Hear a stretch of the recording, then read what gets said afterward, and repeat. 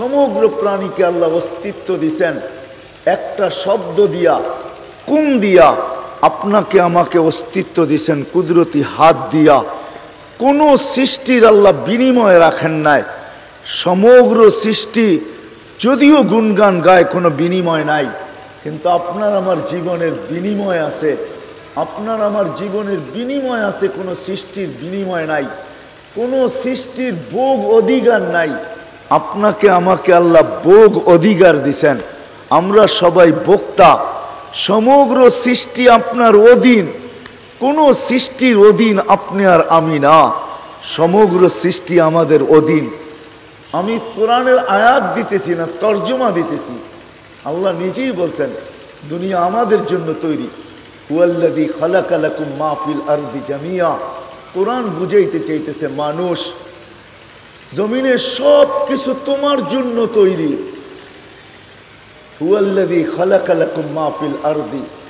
জামিয়া, আল্লাহ বলতেছে, সব তোমার জন্য তৈরি করছি। তুমি না হইলে আমি কিচ্ছু তৈরি করতাম না। কিচ্ছুর অস্তিত্ব হতো না। সব তোমার জন্য তৈরি। সব আমার জন্য তৈরি। দুনিয়াটাও আমার জন্য আর দুনিয়া খলিক না লেখম দুনিয়াও আমাদের জন্য। আবার আখেরা তো আমাদের জন্য যেটা দেখা যায় না ওটাও আমাদের জন্য বিদায় আসেন আসেন এই কথার থেকে বাহির হয়ে আসি আলহামদুলিল্লাহ الحمد لله الذي لا تراه العيون ولا تخالطه الظنون ولا يصفه الواصفون ولا تغيره الحوادث ولا يخشى الدوائر. يعلم مثاقيل الجبال ومكائل البحار.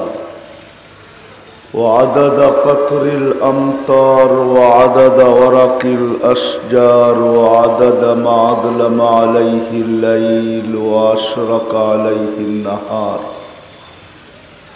वला तुआरी मिन समा उन समा वला अर्दन अरदा वला बहरिन माफ़ी कारी वला जबल माफ़ी वारी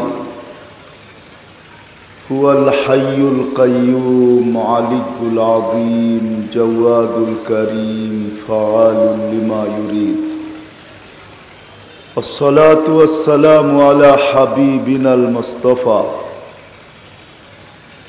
الذي بعثه إلى الجن والإنس بشيرا ونذيرا داعيا إلى الله.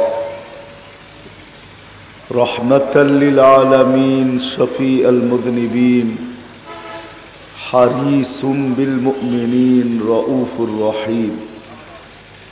صلى الله عليه وعلى آله وأصحابه व अतबा इलाउमद्दीन अम्मा बाद फ़ाउदबिल्लाशैफ़ानरजीम बसमीम अल्आखिरत खैर व अबका वक़ाल जल जलालू وأما من خاف مقام ربه ونهى النفس عن الهوى فإن الجنة هي المأوى. وقال رسول الله صلى الله عليه وسلم اغتنم خمسا قبل خمس أو كما قال عليه الصلاة والسلام. অত্র মাহফিলের সম্মানিত সভাপতি উপস্থিত ওলামাই কেরাম এলাকা থেকে আগন্ত মুসলমান ভাইয়েরা, যেই পর্যন্ত লাউড স্পিকারের আওয়াজ পৌঁছতেছে পর্দার অন্তরালে মা ও বোনেরা, কোরআন হাদিস থেকে যতটুকুই তেলাওয়াত করলাম, আশা রাখি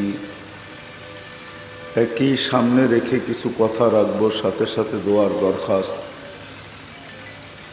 আল্লাহ আমাদের সকলকে বোঝা, শিখা এবং মানার তৌফিক দান করেন।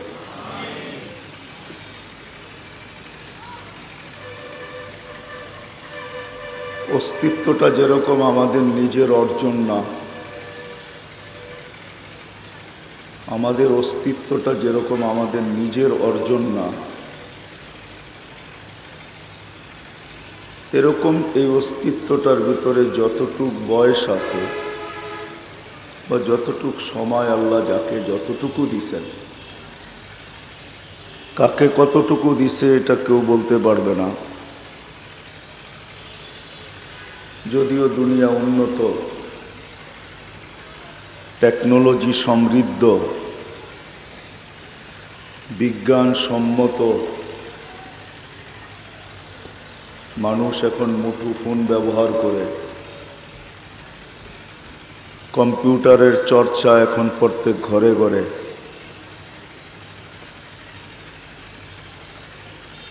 আগের ওই পুরান দিনের মতো আর এখন না আমাদের জীবন, না আমাদের সমাজ। কিন্তু তা সত্ত্বেও মানুষ বলতে পারে না যে এই অস্তিত্বটার ভিতরে সময়টা কতদিন বা বয়সটা কতদিন, এটা কারও বলার কোনো ক্ষমতা নাই। কখনো দেখা যায় ডাক্তার রুগীকে শেষ চিকিৎসা দেওয়া দেয়, যে এটাই শেষ। হয়তো এরপরে আপনার মৃত্যু। কিন্তু দেখা যায় রুগী সুস্থ হয়ে যায়, ডাক্তার মারা যায়। ঠিক না? আমার কথা বোঝেন তো? আর এরকম একটা দুইটা প্রমাণ না, শত প্রমাণ পাওয়া যাবে। ডাক্তার ডেট দিয়া দিছেন, আপনি দুই মাস, তিন মাস বাঁচবেন।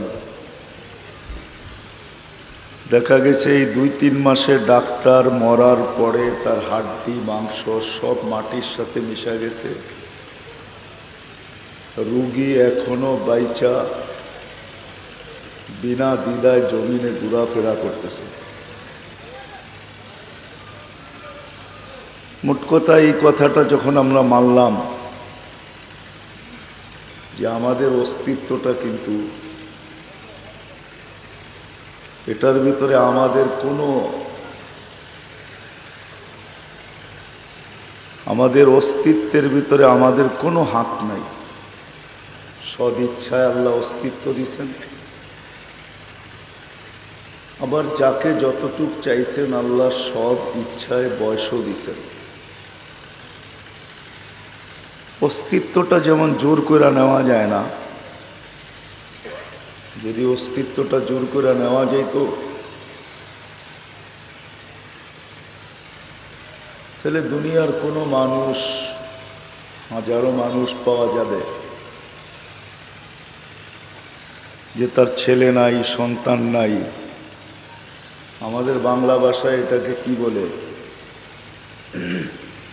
যার ছেলে সন্তান হয় না। কি বলেন হুম? নিঃসন্তান। আরও একটা শব্দ আছে।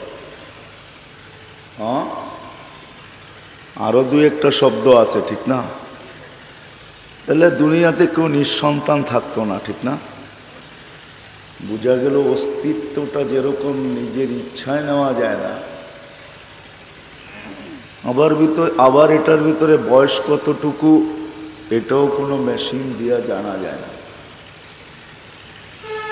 যা হোক, অস্তিত্ব যখন আল্লাহ দিলেন, বয়স যতটুকুই দেন না কেন, কম বেশি বয়স যতটুকুই আল্লাহ আমাদেরকে দেন, কাউকে একটু বেশি, কাউকে একটু কম। কাউকে দেখা যায় অস্তিত্ব দেন, কিন্তু বয়সই দেন না। হাজারো বাচ্চা আমার পেটের থেকে অস্তিত্ব নিয়ে তো আসে, কিন্তু বয়স নিয়ে আসে না। মার পেটেই মারা যায়। এখন আমরা বলি মার পেটেই মারা গেছেন। আদৌ রু আসছে কিনা এটাও তো বলতে পারি না। ঠিক না। তো মানুষ কখনো অস্তিত্ব নেয়, কিন্তু বয়স নিয়ে আসে না। আবার কখনো অস্তিত্ব নেয়, বয়স নিয়ে আসে, কিন্তু বয়সটা বেশি লম্বা হয় না।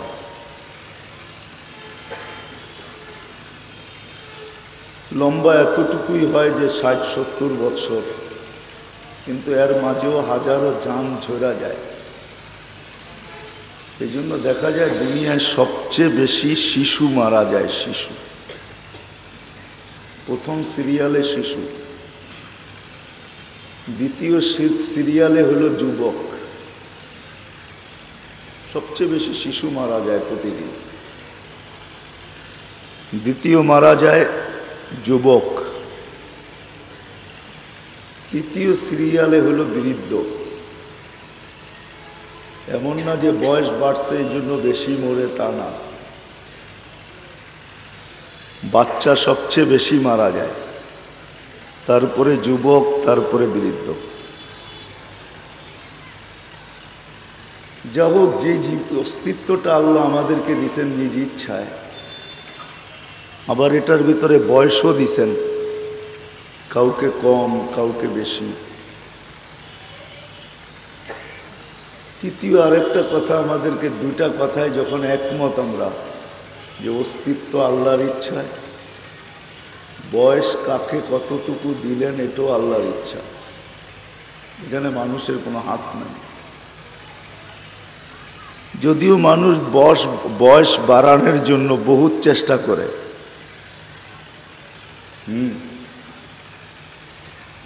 দুনিয়ার বহুত দেশে আছে।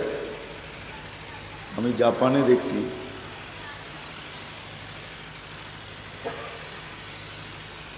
ওটা আমাদের দেশে তো খাবে তো দূরের কথা। পয়সা দিয়ে কিনা খাবে তো দূরের কথা। মনে হয় দুই চার পঞ্চাশ হাজার দিলেও কেউ ওটা খাবে না। যে তুমি খাও, তোমাকে পঞ্চাশ হাজার দিব। আমাদের পানির ভিতরে বর্ষাকালে দেখা যায়, একটা পোকা হয়, কেচ্ছার মতো একটা পোকা হয়, লাল ধরনের। এটা পানির ভিতরেই পাওয়া যায়। আর যেখানে পাওয়া যায়, ওইখানে সঙ্গবদ্ধ পাওয়া যায়। ফুটবলের মতো গোল হয়ে যায় এগুলা, পেঁচাইতে পেঁচাইতে। জাপানে দেখছি এটার কেজি পড়ায় দেড়শো থেকে দুইশো ডলার। এটার স্যুপ খাইলে বলে বয়স বাড়ে। আপনি নাউজিবিল্লা পড়ার দরকার নাই।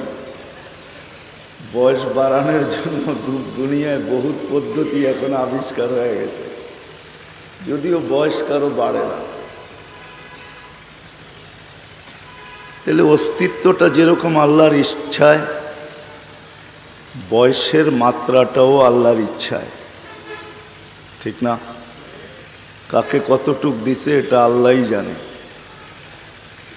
যদিও দুনিয়ার সব জিনিসের গায়ের উপরে দুটা তারিখ লেখা থাকে, যদিও আমাদের জন্ম নিবন্ধনের ভিতরে লেখা থাকে জন্ম কত তারিখে। কিন্তু যদি বইলা দেওয়া হয় যে আমি তো জন্মটা লেখা দিলাম আপনি ডেট অ্যান্ড স্পেয়ারটা একটু লেখা দেন। যে বয়সটা শেষ হবে কবে এটা একটু লেখা দেন। তো বোকা ছাড়া কেউ কিছু বলবে না, ঠিক না? প্রত্যেকটা জিনিসের গায়ে কিন্তু দুটেই লেখা থাকে। যে এটা তৈরি হইল কবে ডেট শেষ হবে কবে, ঠিক না? অথচ একমাত্র মানুষই প্রাণী। যার জন্ম তারিখ তো লেখা থাকে, কিন্তু ডেটটা শেষ হবে কবে এটা লেখা থাকে না। আর লেখার কোনো সুযোগও নেই।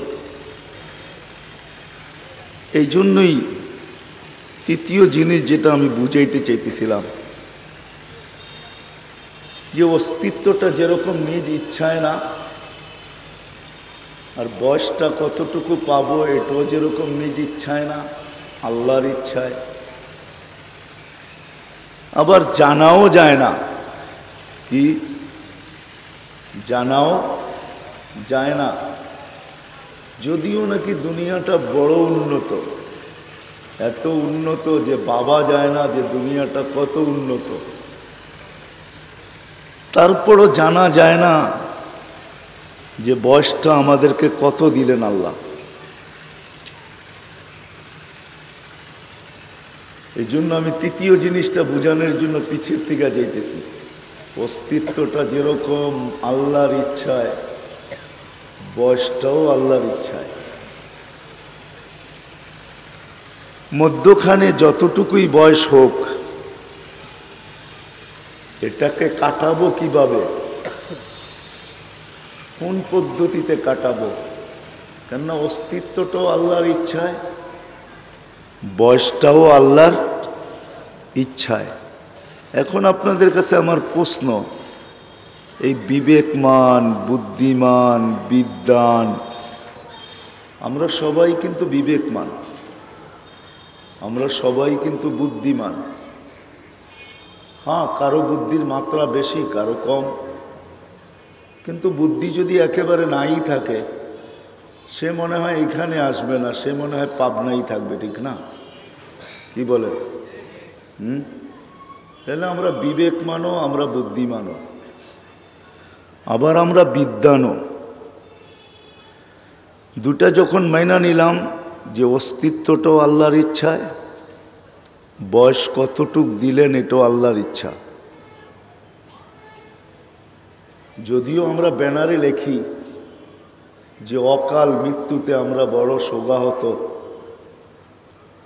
মানে কি বুঝাইতে চাইতেছেন? মরার আগেই মরে গেছে? কি? যে বয়স আরও ছিল, নইলে অকাল মানে কি? কাল না আসার নামই তো অকাল, ঠিক না? হুম? যদিও ব্যানারে লেখা হয় অকাল মৃত্যু মানে এখনও ওনার মারার বয়স হয় নাই, মরে গেছে, ঠিক না? এটাই তো বুঝাইতে চাইতেছে। হ্যাঁ? কিন্তু এমন তো না। তাহলে বোঝা গেল লেখাটা নিয়ে আমি আলোচনা করতে চাই না। লেখা দেখি তো মাঝে মাঝে। এই জন্য বুঝানের কাজে কাজে কাজে লাগাইতেছি। বুঝানোর জন্য কাজে লাগাইতেছি। যখন দুইটা মাইনা নিলাম যে অস্তিত্বটাও আল্লাহর ইচ্ছায়, আয়ুটাও আল্লাহর ইচ্ছায়, বয়সটাও আল্লাহর ইচ্ছায়। তাহলে একটা জিনিস কেন আমরা বিবেকমান, বুদ্ধিমান বিদ্যান মানুষটা মানি না? আর একটা জিনিস কেন মানি না? যে এই যে বয়সটা আমি কাটাবো, এটা কি আমার ইচ্ছায় কাটাবো? না যে আমাকে অস্তিত্ব দিলেন, বয়স দিলেন? দেখেন, আমরা কিন্তু নিজেদের পক্ষ থেকে সুরক্ষিত না। যতই বলি সুরক্ষিত, কেননা সৃষ্টি তো আমরা একা না, ঠিক না? কি বলেন? গাছ যদি ফল না দেয়, তাহলে কোনো মেডিসিন আছে নাকি যে ওর থেকে ফল নেওয়া যাবে? কি বলেন? আছে না, পিটাইলে ফল দিবে, ঠিক না? কি? বোম মারলেও দিবে না? গাছ যদি ফল না দেয়, তো নেওয়ার কোনো সিস্টেম আছে দুনিয়াতে? জমিন যদি শস্য না দেয়, নেওয়ার কোনো সিস্টেম আছে? কি? নাই? কি এগ্রিকালচার দিয়ে নেওয়া যাবে না? এত বড় বড় ইউনিভার্সিটি কোনো কাজে দিবে না? আরে আপনারা বুঝা বলতেছেন না না বুঝা হ্যাঁ? জমিন যদি শস্য না দিল, তো নেওয়ার মতো কোনো প্রযুক্তি আমাদের কাছে আছে? গাছ যদি ফল না দিল হ্যাঁ? তরুলতা যদি ফুল না দিল, তো সৃষ্টি তো আমরা একা না, ঠিক না? কি বলেন, একা? যে আমরা সৃষ্টি একা, আর কেউ নাই। গাছ যদি ফল দেয়, না দেয়, তাহলে যদি নেওয়ার কোনো প্রযুক্তি না থাকে, জমিন যদি শস্য না দেয়, তো কোনো প্রযুক্তি যদি না থাকে নদী নালা যদি মাছ না দেয়, তো নেওয়ার কোনো প্রযুক্তি আছে নাকি? কি বলেন হ্যাঁ? নাই? এত উন্নত দুনিয়া, তারপরও নাই। মেঘ যদি বৃষ্টি না দেয়, তো নামানোর কোনো প্রযুক্তি নাই? তাহলে সৃষ্টি তো আমরা একা না। আমি প্রশ্নের জায়গায় আসি। অস্তিত্বটা যখন আমার ইচ্ছায় না। বয়সটাও যখন আমার ইচ্ছায় না, তো বিবেকমান, বুদ্ধিমান মানুষটাকে যদি আমি প্রশ্ন করি যে এই সময়টা যেটা আমি হাতে পাইলাম, এটা যে কাটাবো, এটা কার ইচ্ছায়? আমার ইচ্ছায়? যুক্তি কি বলে? হ্যাঁ না, মনে হয় বুঝাইতে পারি না যুক্তি কি বলে? লজিক কি বলে? কেন অস্তিত্বটাও আমার ইচ্ছায় না। আমি কিন্তু সুট্টুর দিতে পারব না, আমি তো আপনাদেরকে বুঝাইতে চেষ্টা করব। অস্তিত্বটা যখন আমার ইচ্ছায় না, বয়সটাও কতটুকু এটা আমার ইচ্ছায় না। নিরেট অস্তিত্ব যিনি দিছেন ওনার ইচ্ছায়, উনি বয়সটা নির্ধারণ করছেন যে আমি কতদিন থাকব। উনি লেখা দিছেন। আর সত্য লেখা আছে, কিন্তু আমরা বাহির করতে পারতেছি না। লেখা কিন্তু আছে। লেখা আছে, হয়তো পিঠে লেখা আছে, না হয় কপালে লেখা আছে, কিন্তু বাড়ি করতে পারতেছি না যে আমি কতদিন থাকব। কতদিন আমার অস্তিত্ব টিকবে? এই জন্য আল্লাহ কিন্তু বুঝাইতে চেয়েছেন। আল্লাহ বুঝাইতে চান। যুবককেও আল্লাহ বুঝাইতে চেয়েছেন সাবাব লাক্তার রুকা সাবাবুক যুবক, তুমি যৌবন বিদায় যেন তুমি ধোকায় না পড়ো। তুমি এটা ভাইব না যে আমি তো যুবক। আমার উপরে হাত দেয় তো দেয় কে? এই ধোকায় তুমি থাইকো না। তো আল্লাহ আবার বাস্তব দেখাইতেছেন, প্র্যাকটিক্যাল। কাম্মিন সব সাবাকা কাইলাল মৌত যৌবন অবস্থায় যদি যুবকের উপরে হাত না দেওয়া যাইত, তাহলে এতগুলা যুবকের কবর হলো তো হইল কি করে তাহলে আল্লাহ বুঝাইতে চাইতেছেন, যুবক, তোমাকে যেন দোকা না দেয় যৌবন। কেননা তুমি জানো না এটার ভিতরে বয়স কতটুকু ভরা আছে? বয়সের মাত্রা কতটুকু দেওয়া আছে তোমার জানা নাই। আবার সম্মিলিতভাবে দুনিয়ার মানুষগুলাকে বুঝাইছেন, ইবনা আদম লা তফরাহ বি দুনিয়া ইক মানুষ, দুনিয়ার অধিকার তোমাকে দিছি বিদায়। এই দুনিয়ার অধিকারটা আমাদেরকে কে দিছে? হ্যাঁ হ্যাঁ না, এটাকে আমরা বানায় নিছি। কি বলেন? আমাদের বিবেক, বুদ্ধি, মেধা, শ্রম, প্রযুক্তি দিয়ে আমরা এটাকে বানায় নিছি। কে বানায় দিছে? হ্যাঁ? এটাকে সুজলা, সুফলা কে প্রথম তৈরি করছেন? এই জন্য আল্লাহ এক জায়গায় জিজ্ঞাসাও করছেন, কুল আউয়ালু হাব্বাতিন মান খালাক? ও বিবেকমান, বুদ্ধিমান, ও বিদ্যান ও টেকনোলজি সমৃদ্ধ, ও বিজ্ঞানসম্মত মানুষগুলা, একটু বল, প্রথম বিষটা কে তৈরি করছে? তো আল্লাহ নিজেই জবাব দিছেন, প্রথম বীজটা আমি তৈরি করছি, বীজ যেটা প্রথম, এটা আমি নিজে তৈরি করছি। আজকে যদিও বীজের থেকে হয়, তুমি দেখতেছ, কিন্তু প্রথম বীজ এটা আমার তৈরি, আল্লাহর তৈরি। আল্লাহ নিজে এটাও বলছেন, কীভাবে তৈরি করছি? বলছে, বিকুদরতি, আমি আমার কুদরত দিয়া তৈরি করছি।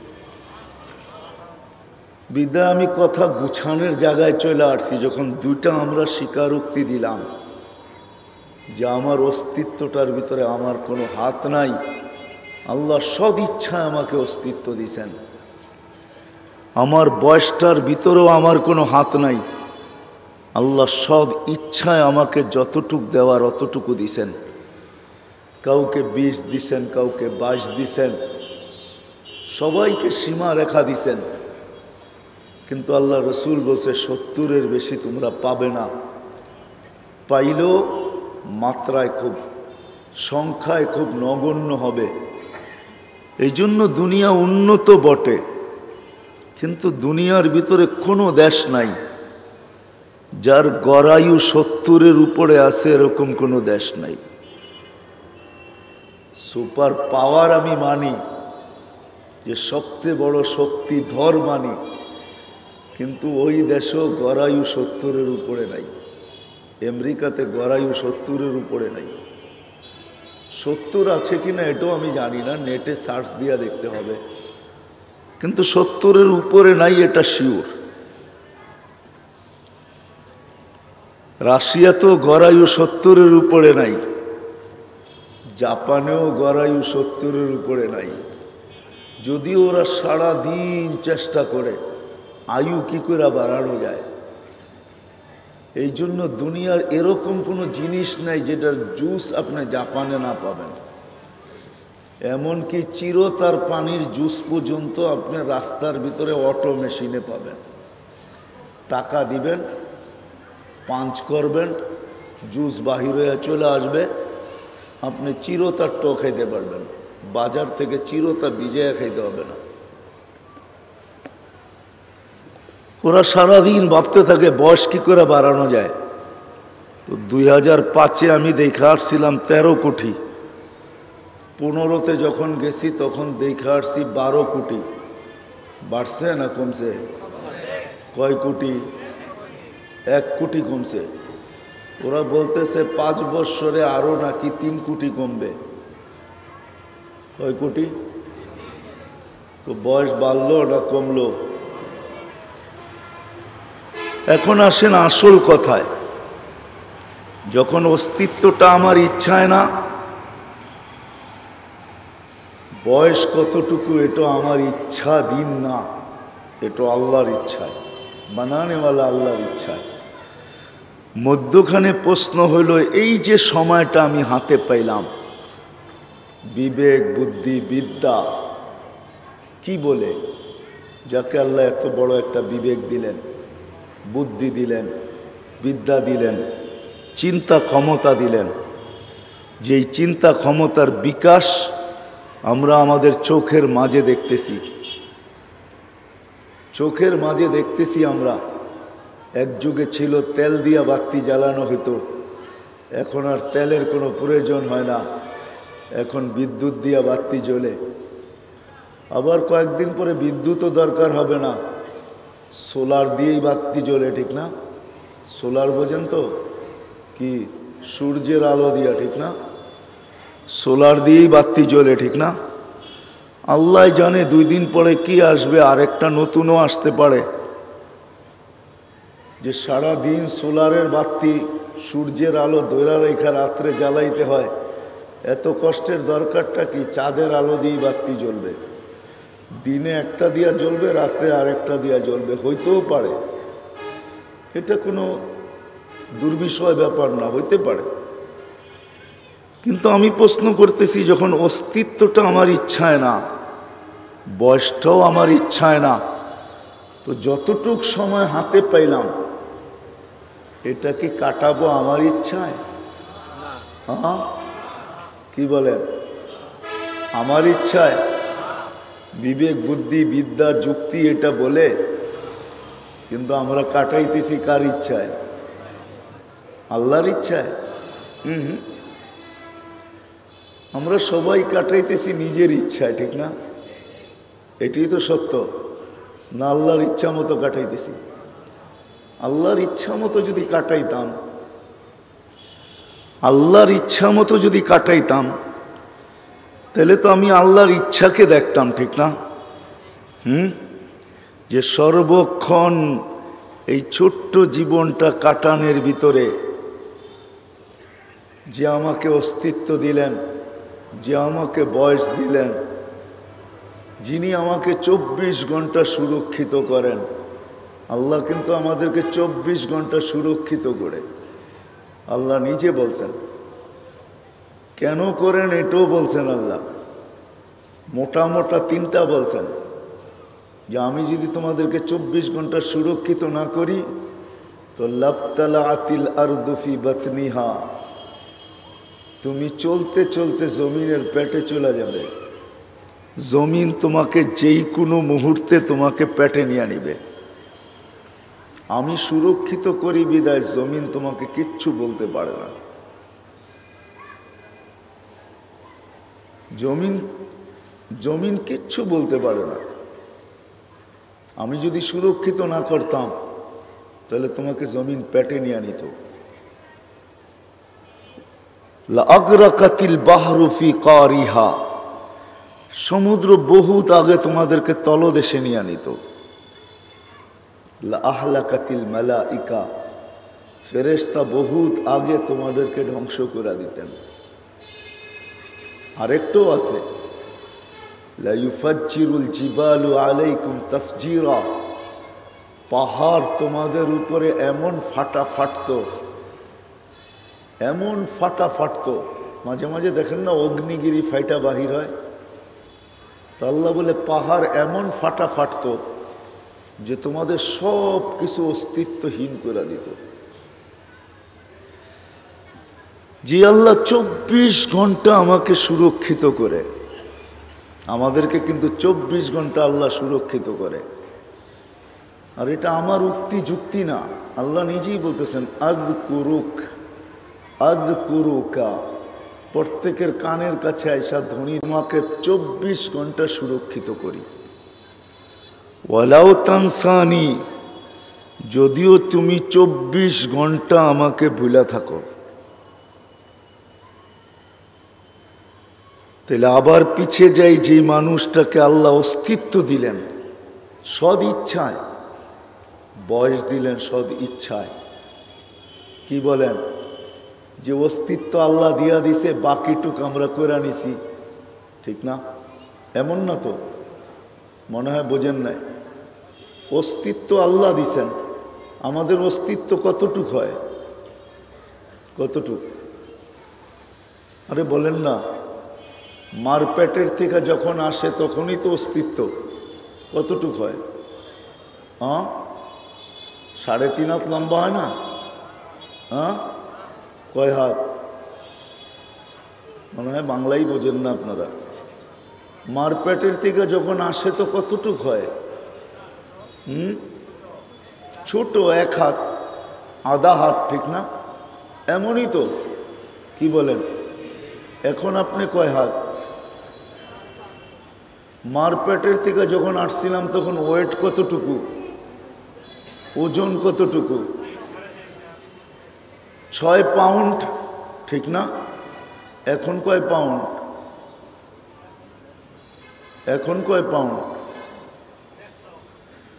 মার পেটের থেকে যখন আসলাম, তখন কি বাকশক্তি ছিল? এখন তো সারাদিনই বলি, ঠিক না? হ্যাঁ? মার পেটের থেকে যখন আসছিলাম, তখন মা বাবাও মা বাবাও তো জানতেন না যে আমার দৃষ্টিশক্তি ঠিক আছে না নাই। কি বলেন? হ্যাঁ? জানতেন? হ্যাঁ? এখন তো দেখি, খুব দেখি, ঠিক না? হুম? এমনও লোক আছে, দেওয়ালের ওই পারে কি আছে, এই পার থেকে দেখে। দেখে না? না দেখে না? হ্যাঁ?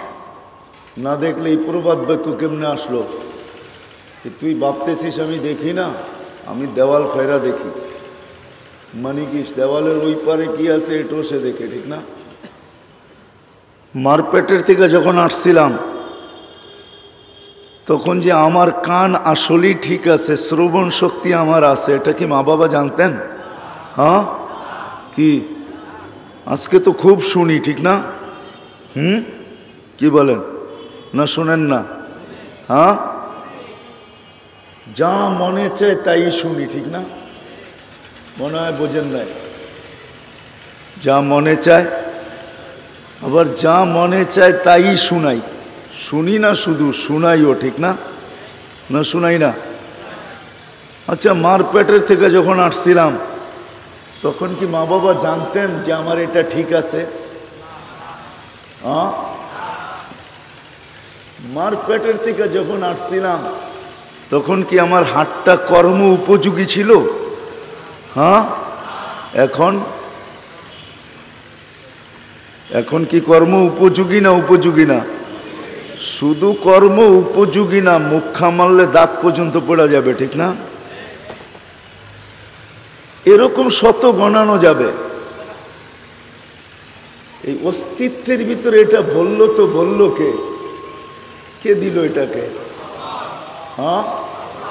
না, আপনি বলেন যে এটা আমি আস্তে আস্তে মেশিন দিয়া, প্রযুক্তি দিয়া, বিবেক, বুদ্ধি, বিদ্যা, মেধা দিয়া আস্তে আস্তে আমি এটাকে এই পর্যন্ত নিয়ে আসছি। কি বলেন? হ্যাঁ? না? সত্য? কি বলেন? হুম? সত্য নাকি? তাহলে এইবার আমার কথায় আসেন, যেটা আমি বুঝাইতে চাইতেছি।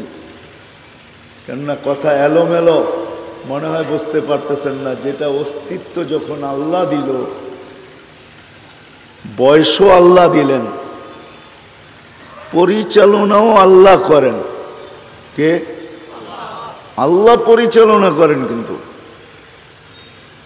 আল্লাহ যদি পরিচালনা না করতেন সুরক্ষিত না করতেন, আপনি আর আমি পরিচালিত হইতে পারতাম না। এটা মানেন আর না মানেন, আপনি মানেন এটা যে কেন আল্লাহর পরিচালিত করতে হবে কেন? আপনি অনেক যুক্তি দাঁড় করাইয়া দিতে পারবেন। কিন্তু সব যুক্তির পরে দিয়েও আরেকটা যুক্তি আছে।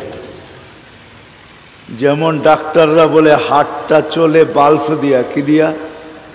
বাল্ব বোঝেন? হার্টের নিচে একটা বাল্ব আছে, এটা দিয়ে হার্ট চলে।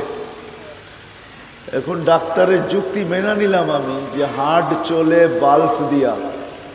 এখন যদি ডাক্তারকে প্রশ্ন করি, বাল্ব চলে কি দিয়া? তো ডাক্তারের কাছে কিন্তু কোনো জবাব নেই। ও জানে না বাল্ব কি দিয়া চলে।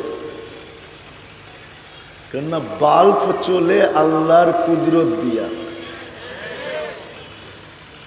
যেমন সারা দুনিয়া এটা একমত যে চোখে দেখার মতো কোনো উপাদান নাই। উপাদান বোঝেন? চোখে দেখার মতো কোনো উপাদান নাই। কোনো উপাদান নাই। বিজ্ঞান আজ পর্যন্ত পায় নাই যে চোখ দেখে তো দেখে কি দিয়া। উপাদান নাই এখানে, কোনো উপাদান নাই। এই জন্য আপনি সারা দুনিয়ার চোখের ডাক্তার কেন? চোখে দেখার মতো কোনো উপাদান নাই। তো চোখ দেখে কি দিয়া? তাহলে সোজা কথা হইল চোখ দেখে আল্লাহর কুদরত দিয়া। কি দিয়া? আল্লাহর? এখানে দেখার মতো কোনো উপাদান নাই কিন্তু। কোনো উপাদান নাই। আপনি জিজ্ঞেস করেন এখানে দেখার কি উপাদান আছে? ডাক্তার বলবে, কোনো উপাদান নাই এখানে। এটা কুদরত দিয়া দেখে। আর কুদরত দিয়া দেখে বিদায়ী, এতটুক জায়গায় তেরো কোটি ক্যামেরা লাগানো সহজ হয়েছে, সম্ভব হয়েছে। এক চোখে কিন্তু তেরো কোটি ক্যামেরা। কত? আপনি সরিষার দানা একত্রিত করেন তেরো কোটি দেখেন কত বড় পাত্র লাগে। কিন্তু এই চোখে কিন্তু তেরো কোটি ক্যামেরা। এটা আপনাদের বিজ্ঞান বলতেছে, আমি কোরআন দিতেছি না। তেরো কোটি ক্যামেরা এক এক চোখে। আবার তেরো কোটি একসাথে কাজ করে। দুই চোখে ছাব্বিশ কোটি ক্যামেরা। আবার প্রত্যেকটা ক্যামেরার তার ভিন্ন ভিন্ন। তারগুলা ভিন্ন ভিন্ন, পিছিয়ে নিয়ে গেছেন আল্লাহ। আবার দুইটা তারকে আল্লাহ একসাথে লাগতেও দেন নাই। তাইলে কেমন সূক্ষ্ম তার। যা হোক, অন্যদিকে কথা চলে যাবে। অস্তিত্ব যখন আল্লাহ দিলেন, নারায়ণগঞ্জের মানুষ একটু বাবা উচিত। অস্তিত্ব যখন আল্লাহ দিলেন, বয়স যখন আমার আল্লাহই দিলেন সুরক্ষিত যখন আল্লাহই আমাকে করেন, লালিত পালিত যখন আমি আল্লাহরই মাধ্যমে, আল্লাহ প্রত্যেকটা চুক্তি দিছেন যে সুরক্ষিত যদি আমি না করতাম, তাহলে কি ঘটত? এটাও কিন্তু আল্লাহ জানায় দিছেন। লালিত পালিত আমি তোমাদেরকে করি। লালিত পালিত কিন্তু আল্লাহই করেন, এই জন্যই আল্লাহ রব। আল্লাহ আমাদের লালন পালনকারী। যখন সবই আল্লাহ করেন তাহলে এই কথাটা আমি মানতে কেন রাজি না? যে মধ্যখানে যতটুক বয়স আল্লাহ আমাকে পাওয়ায় দিলেন, এটা আমি কাটাবো তো কাটাবো কার ইচ্ছায়? না না আমরা কাটাই কার ইচ্ছায়? হ্যাঁ নিজের ইচ্ছায়, নিজের শিক্ষা অনুযায়ী, নিজের দীক্ষা অনুযায়ী, নিজের বিবেক অনুযায়ী, নিজের বুদ্ধি অনুযায়ী আমি আমার ইচ্ছা মতো কাটাইতেছি। কিন্তু উচিত ছিল না আমার ইচ্ছা মতো কাটানো। এটাই আমি বুঝাইতেছিলাম। আমার কথার শেষ জায়গায় আমি চলে আসছি, এটাই আমার বোঝানোর উদ্দেশ্য। যে যখন অস্তিত্ব আল্লাহ দিলেন, বয়সও আল্লাহ দিলেন, সুরক্ষিত আমাকে আল্লাহ করেন। এই জন্যই আল্লাহ বুঝাইছেন, আমি যদি সুরক্ষিত না করতাম লাপ্তালা আতিল আর দুফি বতনিহা, জমিন তোমাকে পেটে নিয়ে আনিত আগ্রাকাতিল বাহারুফি কারিহা, সমুদ্র তোমাদেরকে তলদেশে নিয়ে আনিত, লা আহলা কাতিল মালা ইকা ফেরেস্তা তোমাদেরকে ধ্বংস করে দিত। হাজারো ধ্বংস স্তূপ দুনিয়াতে এখনও বিদ্যমান। আপনি ঘুরলে দেখবেন, হাজারো ধ্বংস স্তূপ এখনও দুনিয়ায় বিদ্যমান, যাদেরকে আল্লাহ সমূলে ধ্বংস করছেন। এখনও রাখা আছে। গড়তে থাকেন, দেখতে থাকেন।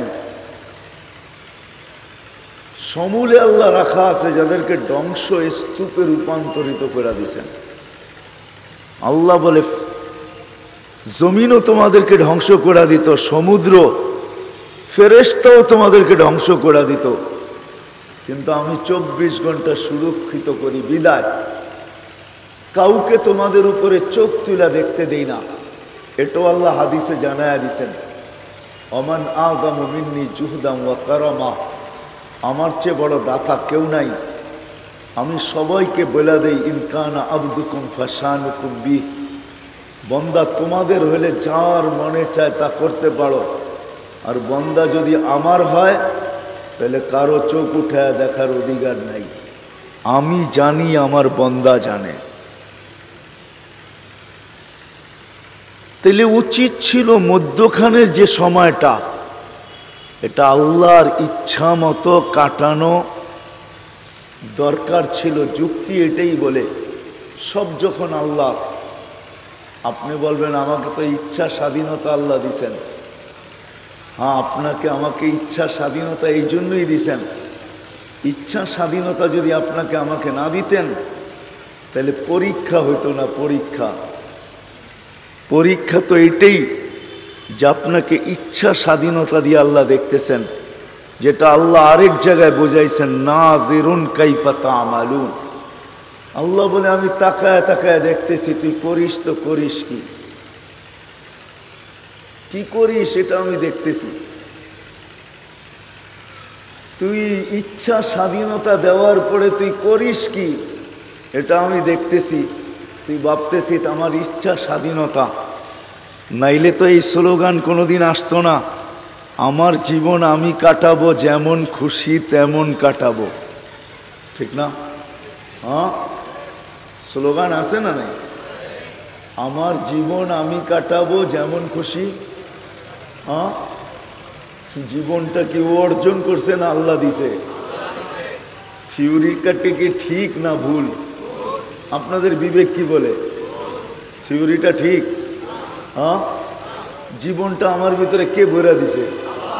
হ্যাঁ? যদি না বইরা দিতেন, করার কি ছিল? কিছু ছিল? হ্যাঁ? হ্যাঁ? হ্যাঁ উনি যেরকম বললেন, জীবনটা আমার, যেমন খুশি তেমন কাটাবো। তাহলে আরেকটা প্রবাদ বাক্য আছে। আরেকটা আরেকটা প্রবাদ বাক্য কি আছে?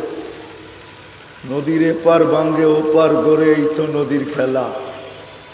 সকালবেলার দনিরে তুই। এটা কে করে? কে? সত্য তো? না মিথ্যা? আবার উল্টাটাও আছে। সকালবেলার ফকির রে তুই ধনী সন্ধ্যাবেলা, এটাও তো হয়। হয় না? এটা কে করে? আপনাদের কাছে কোনো যুক্তি, প্রমাণ আছে আল্লাহ করে? হ্যাঁ আছে? আমি প্রমাণ দিতেছি। কোরআন বলে আগ না ওয়া আফকার।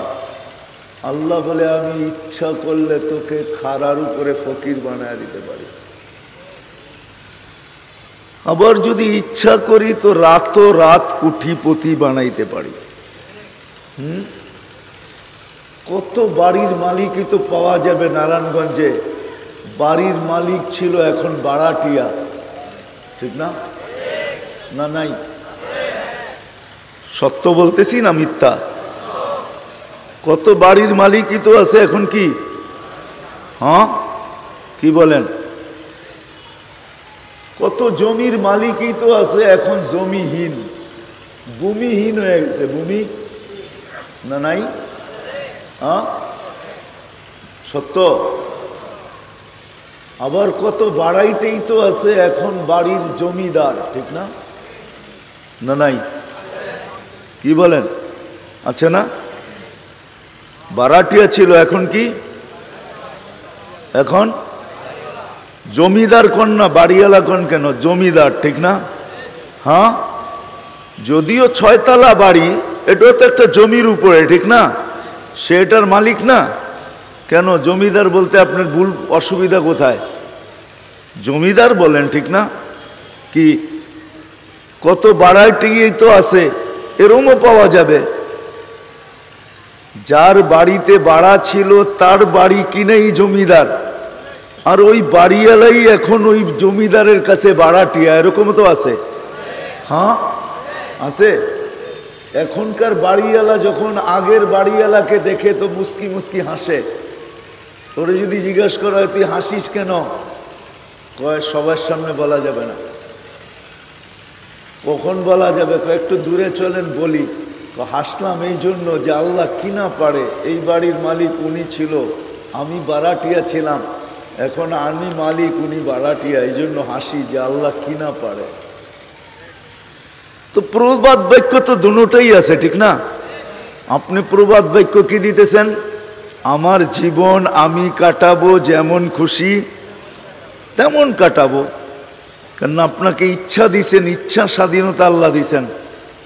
তা আমি বলি, স্লোগান তো আরেকটাও আছে। নদীর এপার বাঙ্গে, ওপার গড়ে, এই তো নদীর খেলা। সকাল বেলার ধনীরে তুই ফকির, আবার সকাল বেলার ফকির রে তুই ধনী। এটি তো হইল, ঠিক না? বারাটিয়া, বাড়িয়ালা বাড়িয়ালা কি? বারাটিয়া, এটাও তো আছে, ঠিক না? কিন্তু আমার এত কথা বোঝানোর উদ্দেশ্য না। আমার উদ্দেশ্য হলো, মেরে আজিজও, যে আল্লাহ অস্তিত্ব দিলেন, যে আল্লাহ বয়স দিলেন, যে আল্লাহ আপনাকে আমাকে এই পর্যন্ত পৌঁছাইলেন।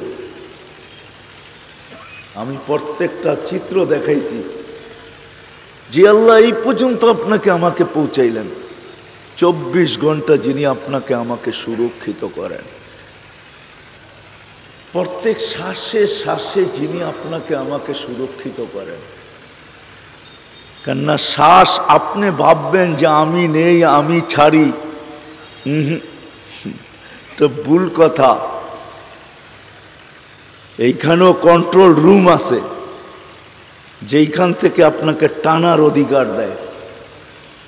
যেই আল্লাহ প্রতিদিন আপনাকে আমাকে সার্ভিস দিতেছেন। কমপক্ষে ডেলি আমরা প্রতিদিন পাঁচশো পঞ্চাশ লিটার অক্সিজেন নেই। আর হলো পিওর অক্সিজেন। হ্যাঁ আপনি ভাববেন, করুণা, ঠিক না? কি ভাববেন? করুণা না? কি বলেন? করুণা তো। এই খোলা আকাশের অক্সিজেন নিয়া কখন আবার অদৃশ্য করুণা আমার নাকের ভিতরে ঢুকা যায়। পয়সা পাতি তো আল্লাহ কম দেয় নাই। একটা সিলিন্ডার কিনা নিমু ডেলি, আর পাইপ নাকের ভিতরে লাগায়া ওইটা নিমু। তাইলে করুণার আমার ভিতরে ঢুকার কোনো আশঙ্কা? কি মনে হয়, বোঝেন না মনে হয়। থাকবে? হ্যাঁ? দূর মিয়া বোঝেনি না আপনারা। না না, এটা তো এটা তো হলো ইয়ের ভিতরে, সিলিন্ডারের ভিতরে। ওটার ভিতরে ওটা যাবে কি করে? ওটা তো রিফাইন হয়ে ভিতরে ঢুকছে। ওটা তো এই বাতাস ঢুকায় দেয় না ওটা তো মেশিনের মাধ্যমে রিফাইন হইয়া তারপরে ভিতরে ঢুকছে, ঠিক না? হ্যাঁ? আমরা বোতলের পানি খাই কেন? মিনারেল ঠিক না? কি বলেন? আপনি কি দেখে আসছেন ও মিনারেল করছে? হ্যাঁ? কিন্তু বিশ্বাস যে হ্যাঁ সব কিছু লেখা শেখা দেখা ভাবতেছি যে এটা মিনারেল, ঠিক না? মানে কি? জীবন মুক্ত, ঠিক না? জীবাণু মুক্ত, ঠিক না? স্বাস্থ্যসম্মত, ঠিক না?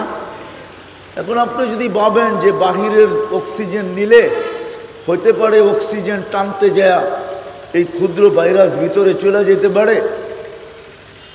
আজকের থেকে একটা করে সিলিন্ডার কিনবো, মুখের ভিতরে লাগায়া দিব ওটাই টানতে থাকব, ছাড়তে থাকব।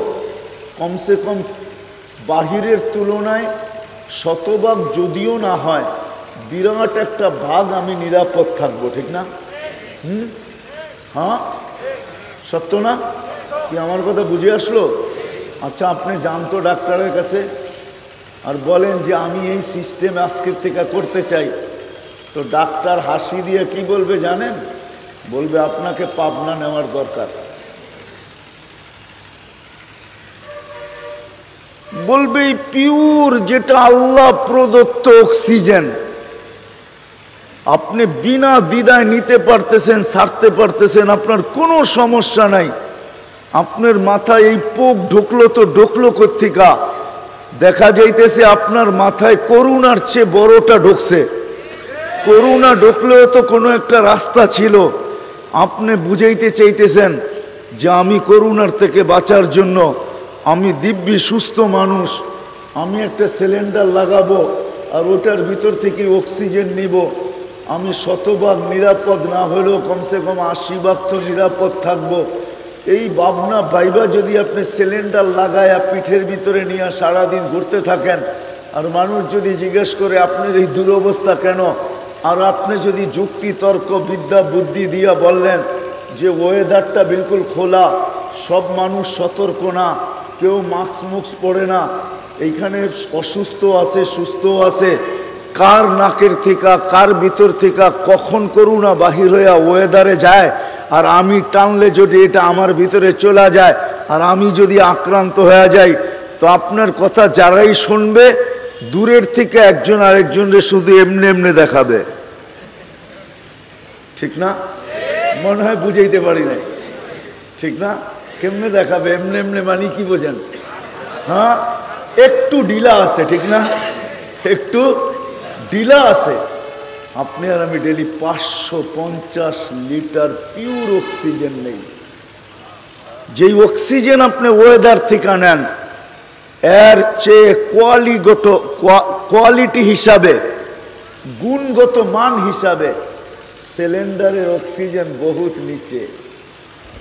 যান ডাক্তারকে জিজ্ঞাসা করেন আমার কথা। এই অক্সিজেন যেটা আমরা এইখানে বসে নিতেছি, এটার থেকে গুণগত মানে সিলিন্ডারের ভিতরে যে অক্সিজেন আছে, এটা গুণগত মানে বহুত নিচে। বহুত? বহুত? নিচে। ডেলি পাঁচশো পঞ্চাশ লিটার অক্সিজেন নিতেছি। আমি জায়গায় চলে আসছি যেখানে যেটা আমি পয়েন্ট বুঝাইতে চাইতেছি। আসেন মেরে আসি আজিজ, অস্তিত্ব যখন মেনা নিলাম যে আল্লাহ দিছেন, সুরক্ষিত আল্লাহ করেন, বয়সটাও আল্লাহর দেওয়া, এটাকে বাড়ানো যাবে না কমানো যাবে না মৌতের আগেও মরা, সময়ের আগেও মরা যাবে না, আর সময়কে পার করেও যাওয়া যাবে না। আজকে কেন আমি এই বিদ্যায় বিদ্যান হইলাম? এই থিওরি কেন আমি মাথার ভিতরে ঢুকাইলাম? যে মধ্যখানের যে সময়টা, এটা আমি আমার স্বাধীনতা মতো কাটাবো, আমি আমার ইচ্ছা মতো কাটাবো। না না না না, এটা বড় ভুল। আপনি আপনার ইচ্ছা মতো না। যুক্তি তর্কতে এটাই বোঝা যায়। দুটা যখন আমি মেনা নিলাম, তো তিনটাও আমার মানা উচিত। আর এই জন্য উচিত, এই জন্য উচিত হাজারো লক্ষ কোটি প্রাণীর মতো আপনি আর আমি একটা প্রাণী না। আপনি আর আমি ভিন্ন প্রাণী। কেননা সমগ্র প্রাণীকে আল্লাহ অস্তিত্ব দিছেন। একটা শব্দ দিয়া, কুম দিয়া আপনাকে আমাকে অস্তিত্ব দিছেন, কুদরতি হাত দিয়া। কোনো সৃষ্টির আল্লাহ বিনিময়ে রাখেন নাই। সমগ্র সৃষ্টি, যদিও গুণগান গায়, কোনো বিনিময় নাই। কিন্তু আপনার আমার জীবনের বিনিময় আছে। আপনার আমার জীবনের বিনিময় আছে, কোনো সৃষ্টির বিনিময় নাই। কোনো সৃষ্টির ভোগ অধিকার নাই। আপনাকে, আমাকে আল্লাহ ভোগ অধিকার দিছেন।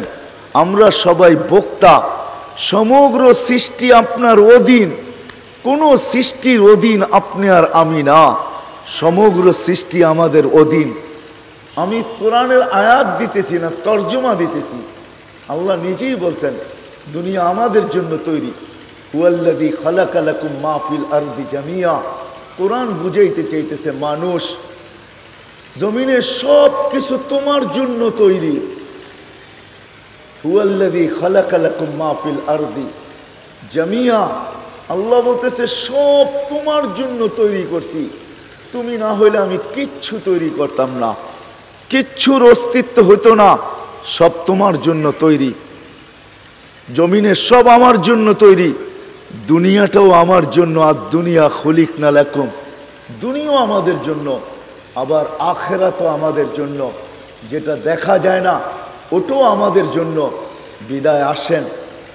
আসেন, এই কথার থেকে বাহির হয়ে আসি। কেননা আপনার আমার কপালেই প্রতিদান লেখা। দুটার যেই কোনো একটা লেখা। হয়তো চির শান্তি, না হয় চির অশান্তি। হয় বড় বড় প্রতিদান, না হয় বড় বড় শাস্তি। আর কোনো সৃষ্টির জন্য এটা লেখা নাই। ফেরেস্তা জাহান নামে যাবে না। কোনো সৃষ্টি জাহান নামে বা জান্নাতে যাবে না। আল্লাহ জানায়া দিছেন, ইন্দন আমি বানাবো তো বানাবো কাকে? উকু দুহান নাস। আল্লাহ শুনায়া দিছেন, মানুষ তোকে ইন্ধন বানাবো আমি। তুই ইন্ধন হবি জাহান নামের তোকেই আমি বিনিময় দিব। আল্লাহ এটাও জানায়া দিছেন, জান্নাতুল ফিরদা উসি নুসুলা আল্লাহ এটাও জানায়া দিছেন, জান্নাতের ভিতরে তোমাকে আমি ঢুকাবো। যেমন দোজগের ইন্ধন, এমন জান্নাতের বাসিন্দা তুমি। বিদায় অস্তিত্বটাও আল্লাহর দেওয়া, বয়সটাও আল্লাহর দেওয়া। সুরক্ষিত করেন আল্লাহ। যখন দুটা মাইনা নিলাম, সব আল্লাহ দিতেছেন। চব্বিশ ঘণ্টা আমাদেরকে পরিচালিত করতেছেন আল্লাহ। যদি আল্লাহ পরিচালিত না করতেন, আপনার আমার ভিতরে কেউ যুক্তি তর্ক দিয়ে বুঝাইতে পারবে না। আমি আপনাদেরকে প্রথমেই দুটা দেখাইলাম, তিনটা দেখাইতেছি। চোখে দেখার মতো কোনো উপাদান নাই, কানের ভিতরে শোনার মতো কোনো উপাদান নাই, বাকশক্তির জিব্বার ভিতরে বলার মতো কোনো উপাদান নাই। কোনো বুবা জিব্বাহীন আসে না। যত বদির দুনিয়াতে আসে, সবারই জিব্বা আছে। তাকাইলে দেখবেন অনেক বদিরের জিব্বা আপনার চেয়ে বড়ও আছে। হুম? জিব্বা যদি থাকলেই বলতে পারে, তাহলে বদির কেন বলে না? কোন বদির কান ছাড়া আসছে? আর কোন বদিরের কানে ছিদ্র নাই? বলেন, ছিদ্র নাই? হ্যাঁ দেখছেন না না দেখেই বলতেছেন? হুম, দেখা বলছেন? কানও আছে? হ্যাঁ? তাহলে কানও আছে ছিদ্রও আছে, ও শুনে না কেন? কানও আছে, আবার কি? ছিদ্র কিন্তু জিব্বাও আছে, গলার ভিতরে পাইবও আছে, পাইব আছে না? নইলে খায় পান করে কি করে ঠিক না? তো বলে না কেন? এইখানে শোনার কোনো উপাদান নাই। উনি শোনায় না তো শোনে না। উনি শোনায় না তো শোনে না। উনি বলায় না তো বলে, কুদরত ফিট নাই এখানে, কুদরতি। কি বলে এটাকে? আরে, পাংখার ভিতরে থাকে না? কুদরতি সার্কেট ফিট নাই এই জন্য বলে না। সার্কেট বোঝেন তো? হ্যাঁ? আরে বুঝেন সার্কিট? পাংখার ভিতরে কিন্তু সার্কিট লাগানো থাকে। ক্যাপাসিটার, সার্কিট বলেন, ক্যাপাসিটার বলেন, ক্যাপাসিটার তো গতিকে বাড়ায়, কমায়। আর সার্কিট হলো বাতাসকে নিচে আনে আর উপরে নেয়। অনেক সময় পাংখার গতি সব কিছু ঠিক আছে, কিন্তু নিচে বাতাস নাই। বাতাস কি নাই? নিচে নাই। অথচ উপর দেওয়াল কাঁপায় ফেলতেছে বাতাসে। তো সবাই জিজ্ঞাসা করে, বাতাস উপরে কেন, নিচে নাই কেন? তো মিস্তরি আইসে একটা মুস্কি হাসি দিছে। হাসি দিয়া কয়, সার্কিট উল্টায় গেছে তো, এই জন্য এটা উপরে চলে গেছে। একটু ঘুরায় দিই, দেখেন নিচে বাতাস আপনাকে উড়ায় ফেলবে। তো আসলে এখানে সার্কিট কুদরত ফিট করে না, এই জন্য ও বলে না, জিব্বা আছে, সব আছে। মানুষে বলে, জিব্বার পরে একটা ছোট জিব্বার মতো আছে, ঠিক না? কয় বোবান নাকি এটা ছোট। বোবান নাকি এটা নাই? কিন্তু আমি অনেককে দেখছি হা করায়, ওটাও আছে। ওটো? হ্যাঁ? ওটাও আছে। ওটাও আছে, কিন্তু তারপরেও বলে না। বিদায় আসেন, শেষ জায়গায় চলে আসছি।